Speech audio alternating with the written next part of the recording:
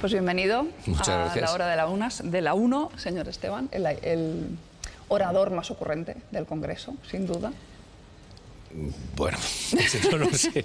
Ocurrencias yo creo que tenemos todos, ¿no? En, eh, bueno, y a veces pues, pues la dinámica del debate pues te, te lleva a decir algunas cosas, a veces para distenderlo ¿eh? también. Sí, ciertamente. Eh, le quería comentar primero mm, sobre la situación en la Comunidad de Madrid. El gobierno de Díaz Ayuso anuncia que va a pedir ayuda urgente al gobierno. ¿Usted qué le parece? Bueno, que, que, la colaboración entre instituciones siempre está bien, ¿no? A mí siempre me parecerá adecuada. Ahora, cada uno tiene eh, sus responsabilidades, ¿no? Y, bueno, pues eh, entiendo que se eh, tomarán o se van, irán tomando las, las, medidas más adecuadas para, para contener la, la expansión del virus.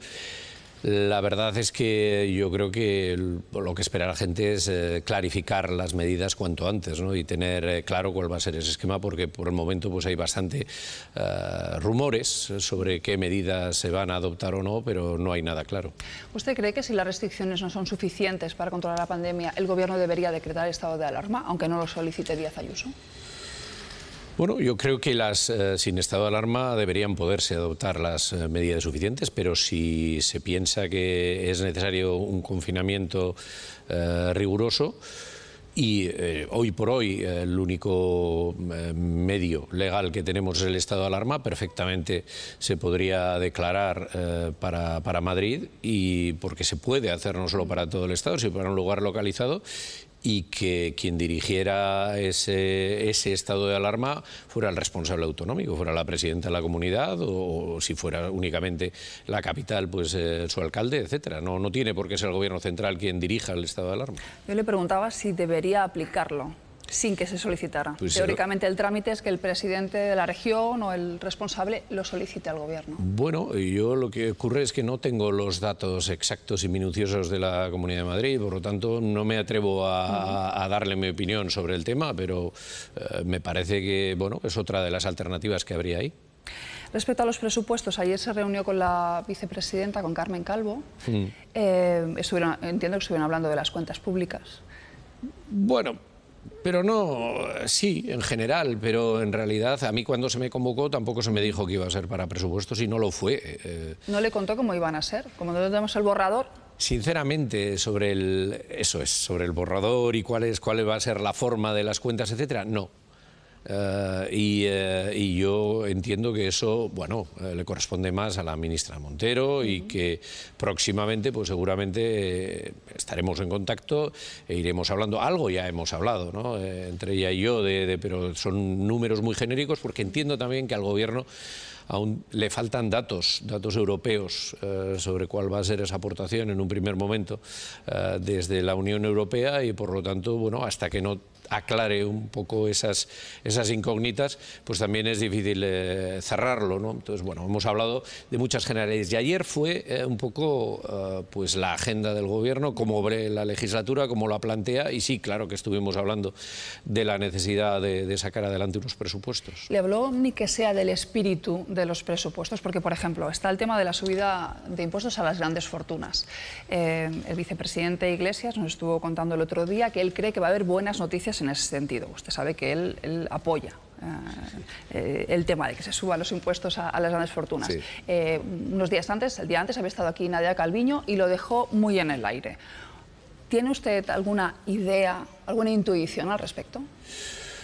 Pues hombre, sí quiere que le diga lo que creo que es más probable que suceda, lo cual no quiere decir que esté en lo cierto, y yo creo que no va a haber o ningún movimiento o pocos movimientos en el ámbito impositivo. Uh, entre otras cosas, claro, cuando tocas una, una de las teclas de, ese piano fiscal, uh, al final también repercute en las otras.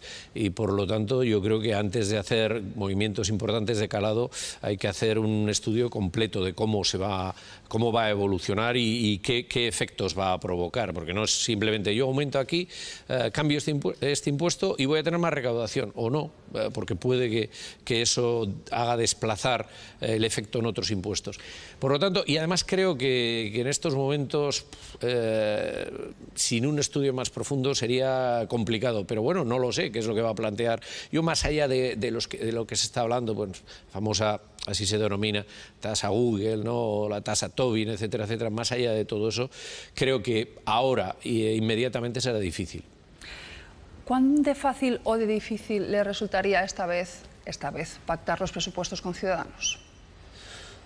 Nosotros ya le dijimos al Gobierno que preferíamos eh, una, una mayoría presupuestaria en torno a lo que había sido la mayoría de la investidura, quien bueno, permitió la investidura, unos como nosotros votando a favor y otros absteniéndose. Eh, porque bueno, creemos que ahí la, agenda del gobierno podría seguir teniendo un impulso. Eh, ciudadanos eh, sí parece que está dispuesta a llegar a un acuerdo presupuestario, pero por lo menos hasta la fecha, no sé si a futuro sería diferente, eh, al gobierno no le da tregua. Las críticas son absolutamente constantes y los votos en contra de la posición gubernamental pues se repiten una y otra vez, ¿no? Por lo tanto, no sé qué coherencia tendría eso. Pero bueno, sí es verdad, y esto lo vengo repitiendo una y otra vez, que es fundamental sacar unos presupuestos en este momento. Eso también dicho por mi parte, eh, a la hora de negociar, pues mina mis posiciones, ¿no? Porque ya estoy diciendo que soy proclive y que es muy necesario que haya unos presupuestos. Pero es que si dijera lo contrario, estaría mintiendo a la gente. En un momento eh, de crisis económica como el que nos encontramos, con unas bueno, yo creo que una oportunidad con ese, bueno, esos posibles eh, dineros eh, que van a venir de Europa, que pueden servir para eh, hacer una nueva base económica el Estado español y sobre todo, bueno, pues en esta, en esta situación con unos presupuestos que ya serían, son tres años, ¿no? Los que llevan en vigor los de Montoro. Bueno, esto ¿a qué nos llevaría? A elecciones unas nuevas elecciones, a no tomar decisiones, la, bueno, la imagen ante Europa sería terrible, yo creo que habría una repercusión en cuanto a paro, en cuanto a actividad económica y nos encontraríamos en una situación muy complicada, por lo tanto hay que sacar los presupuestos. Preferimos esa mayoría. Si por circunstancias que evidentemente pues el factor catalán, etcétera, etcétera, sucede lo que sucede y, hay otra mayoría que puede armarse, pues ya lo veríamos, pero Ciudadanos muy proclive a hacer cosas con nosotros nunca ha sido. Ahora bien, también le digo, ya aprobamos unos presupuestos con Ciudadanos, los de Rajoy. Los que están en vigor. Los que están en vigor, efectivamente. Eh, ayer en la sesión de control se produjo un gran revuelo cuando el ministro de Justicia habló de que se empezaban a tramitar la semana que viene los indultos a los, a los presos del Prusés.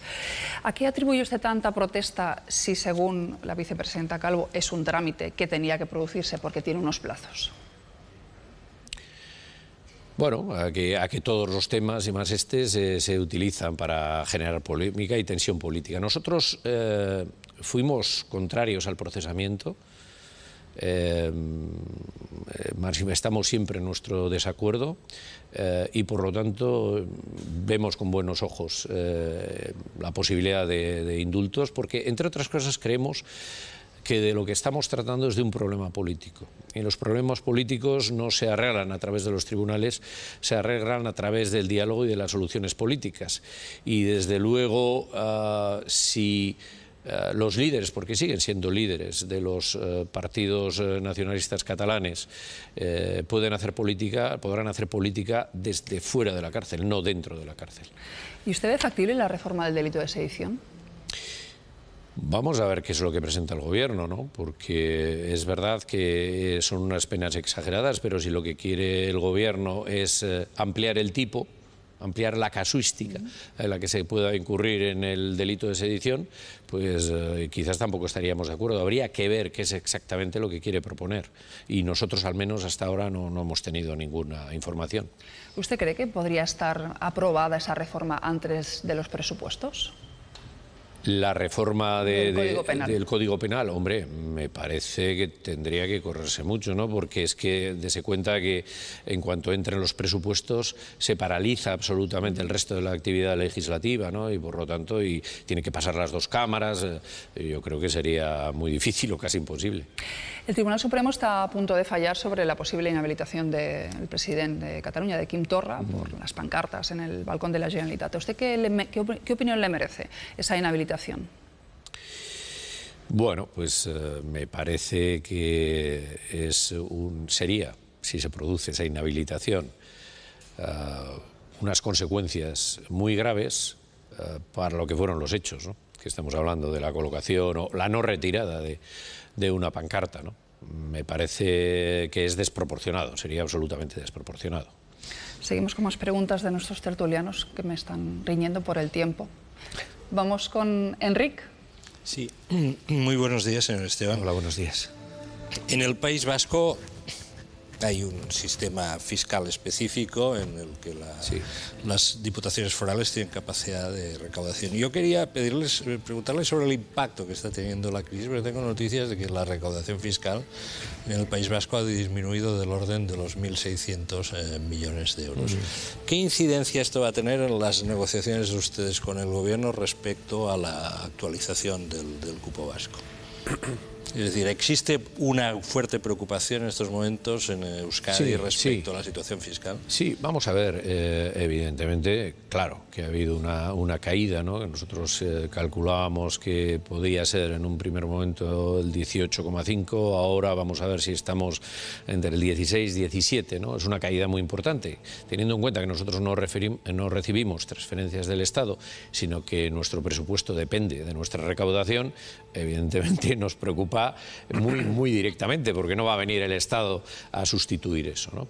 Pero yo no estamos planteando eh, una, una modificación del cupo. El cupo está fijado, cada uno tiene que eh, realizar sus competencias y, y, bueno, ya está fijado para, para los cinco años ¿no? que viene. Por lo tanto, eh, no se trata de eso, lo que se trata es de poder tener una capacidad suficiente para hacer frente a las cuentas. ¿Y eso cómo se hace? Pues como nosotros no vamos a recibir transferencia al Estado que puede endeudarse y lo que necesitamos es endeudarnos nosotros ¿no? y por lo tanto tener una, una, capacidad de endeudamiento de nuestras instituciones comunes instituciones forales que puedan hacer frente a esos presupuestos que luego ya haremos nosotros frente a esos créditos y ya los pagaremos, no nos vamos a eludir nuestra responsabilidad, pero yo no, no, no nosotros no estamos poniendo en cuestión el, el cupo, sino que lo que queremos es que se nos deje hacer frente por nuestros propios medios a la grave crisis económica. Ay, no. Buenos días, señor Esteban. ¿Le preocupa al PNV perder capacidad de influencia en Madrid como partido vasco con la entrada de Bildu en la ecuación presupuestaria? No, no, en absoluto. Bueno, Bildu es otro agente político más, y, pero mire, aquí cada uno pues, eh, jugamos nuestras cartas, hacemos la política y estas cosas además... Eh, no, no se resuelven en, en un mes. ¿no? Estos son hacer política, bueno, en cualquier sitio, pero en Madrid también es, son políticas de largo recorrido. ¿no? Y por lo tanto, pues bueno, no, no, no, es un agente político más y uh, afortunadamente pues ahora está haciendo política y curiosamente intenta hacer exactamente la misma política que lleva haciendo el Partido Nacionalista Vasco pues eh, los últimos 40 años y que, y que tan criticada y denostada ha sido por Bildu, ¿no? Eh, de vendernos por un plato de lentejas. Sé si el suyo va a ser de alubias o de qué va a ser. Carlos. Sí, muchas gracias, buenos días. Yo le quería preguntar, el PNV es el gran termómetro de la política española, siempre están en todas las negociaciones, siempre tienen información y al final depende de ustedes mmm, la estabilidad muchas veces.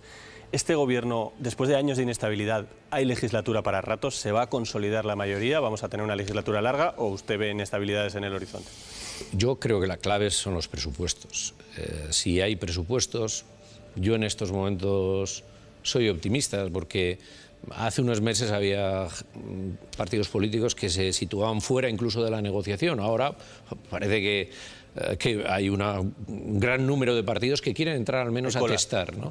Bueno, no sé si cola, pero desde luego que, que sí hay unos cuantos. ¿no? Um, a ver, si se, si se aprueban los presupuestos, yo creo que eso prácticamente asegura la legislatura. Otra cosa que, eh, es que sea una legislatura fructífera en términos, por ejemplo, legislativos, etcétera, que vaya usted a saber lo que ocurre, incluso en un gobierno coalición que todavía no se ha experimentado en España.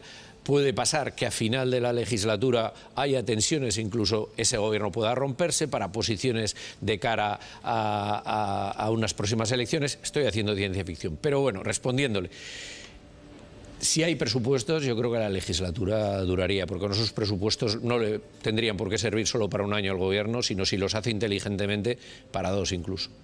Juan. ¿Qué tal, señor Esteban? Buenos días. En línea con la pregunta que le hacía Esteban, eh, no al señor Esteban, eh, yo le quiero preguntar por Bildu, pero en el País Vasco, porque ayer escuchamos al secretario general de Sortu, el partido de Armando Tegui, decir que los etarras no son violadores ni pedrastas, son supervivientes. Asistimos en las últimas semanas a un enaltecimiento de la, cuando llegan etarras al País Vasco, en fin, a una serie de actos sociales de enaltecimiento de, lo que supuso ETA en su momento.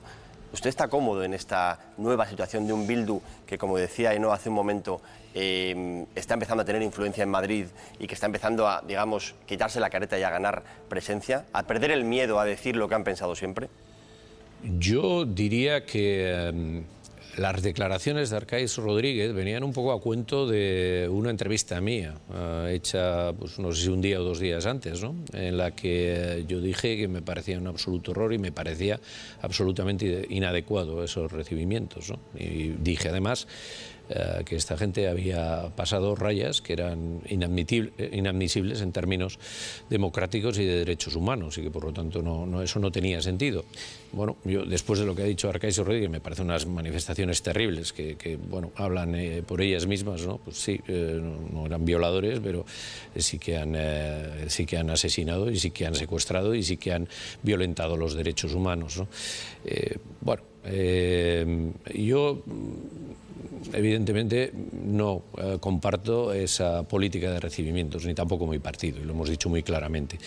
Eh, ahora, tampoco eh, comparto lo que ha dicho usted de que están, ahora se están sintiendo más libres para decir lo que piensan y tal. Yo lo que diría es que han cambiado mucho el discurso, ¿no? antes sí que decían bueno, y apoyaban la violencia y, sin embargo ahora pues diría que han cambiado mucho el discurso e incluso están dispuestos a hacer política ah, dentro de, bueno, de los márgenes del ordenamiento, ¿no? más allá de que se quiera ir eh, modificar ese ordenamiento, etcétera, etcétera. ¿no? Por lo tanto, yo diría que al revés han cambiado el discurso. Tenemos una última pregunta que siempre es la de nuestros telespectadores. Nos envían una pregunta a través de redes sociales. Marina. Buenos días, señor Esteban. Le traigo una pregunta de su tierra. Le preguntan por el aeropuerto de Vitoria y en concreto le plantean esto. Eh, ¿Qué ocurre con el estudio de la zona franca del aeropuerto de Foronda y con el plan ambiental para abrirlo los fines de semana? Eh, ayer salió, por cierto, este tema lo saqué yo en la conversación con, con la vicepresidenta. No, bueno, el, tema de la, de la zona franca estaba presupuestado ya y, se tenía que haber hecho. Y es una de esas cosas. Yo, la gente piensa, esto le, suelo decir a la gente que, suele llegar al Parlamento y se pone a hacer negociaciones, ¿no? y, luego también a, bueno, a la gente, a la sociedad civil, cuando dice, ah, ya habéis conseguido esto, suelo decir, mira, eh, esto no solo conseguir que venga en el papel eh, y que lo pongan los presupuestos, luego hay que hacer un seguimiento, hay que ser muy pesado y muy insistente para que se haga, ¿no? Entonces, bueno, este tema que tenía que haberse hecho no se hizo, nosotros no vamos a cejar en que, en que esto se lleve a cabo, ¿no? Porque era un compromiso ya adquirido en los presupuestos, presupuestos eh, en vigor que se comprometió también el Partido Socialista a llevarlos a cabo, ¿no? Por lo tanto, bueno, hay cosas que se han retrasado, algunas también, es verdad que, el tema de la COVID pues ha hecho que, que se pospusieran, pero desde luego yo no me, yo no me olvido de todas las cosas que he pactado y que quiero que, por lo tanto, que, se cumplan, porque nosotros la palabra la vamos cumpliendo, pues que también la cumpla la otra parte. O sea, la respuesta a nuestro espectador sería que sigue en ello, que seguirá en ello. Así es. Fenomenal, pues muchísimas gracias por haber estado con nosotros.